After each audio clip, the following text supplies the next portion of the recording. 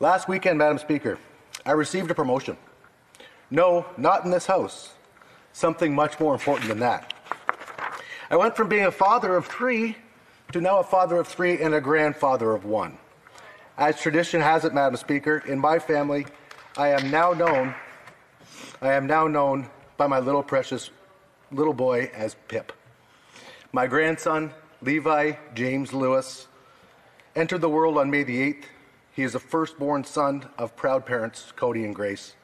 As other grandparents in this house can attest, there is no feeling like it.